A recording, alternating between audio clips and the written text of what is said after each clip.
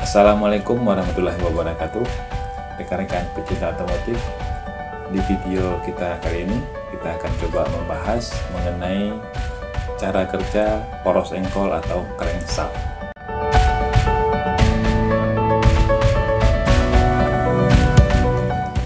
Oke, jadi di video kali ini kita akan coba jelaskan eh, bagian daripada poros engkol dan fungsi atau cara kerjanya. Nah, seperti yang kita lihat di depan ini sekarang ya, eh, kita sebut ini namanya poros engkol atau dalam bahasa teknis namanya crankshaft.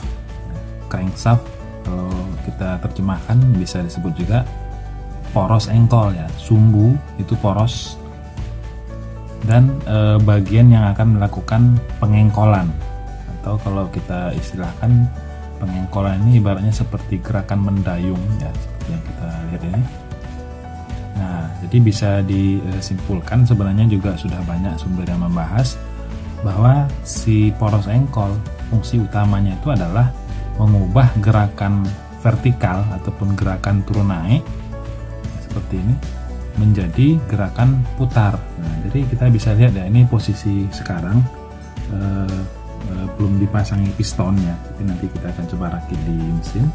Kita bisa lihat nanti bagaimana gerakan daripada poros engkolnya dan juga piston seperti apa gitu. Nah, jadi eh, untuk eh, penjelasan pertama yang perlu kita ketahui bagian-bagian daripada poros engkol ini ya.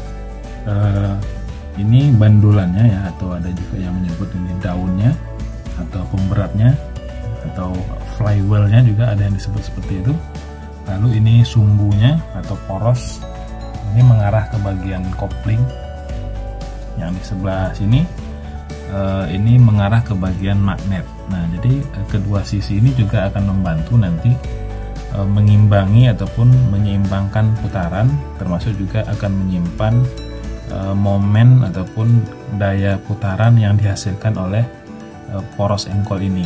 Nah, jadi dia akan mengakibatkan eh, putarannya menjadi lebih ringan ataupun lebih stabil nantinya. Sebelum kita lanjutkan ya ada yang perlu saya perjelas dulu.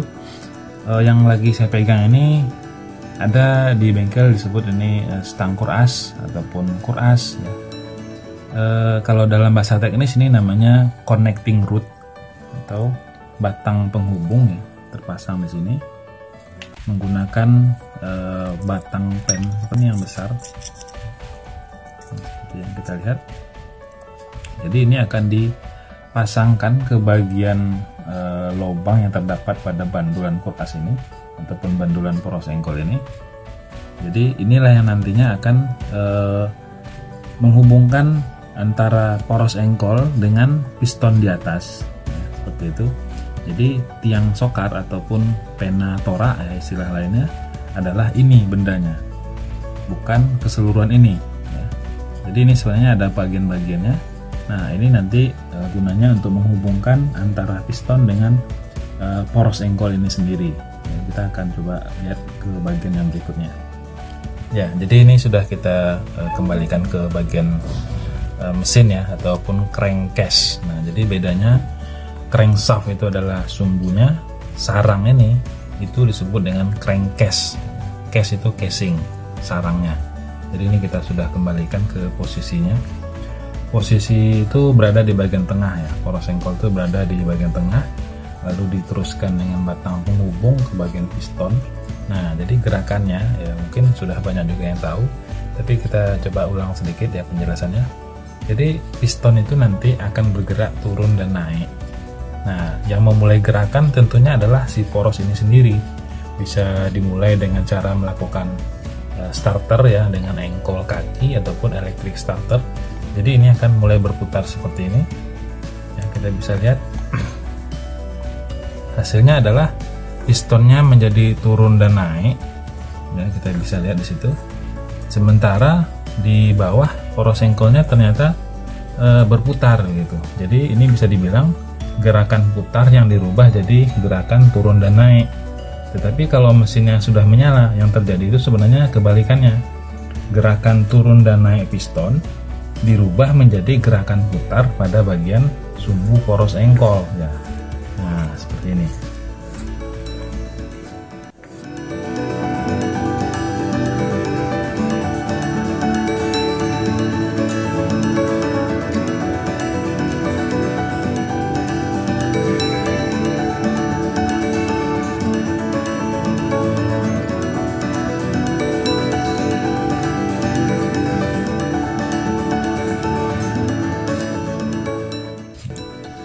Ya, baik. Jadi kita bisa ambil kesimpulan kalau mesin ini sudah e, beroperasi dengan normal atau sudah melakukan siklus e, dengan tertib, yaitu langkah hisap, langkah e, kompresi, langkah usaha ataupun tenaga, lalu langkah pembuangan, maka piston ini tentu akan melakukan terus-menerus gerakan turun dan naiknya.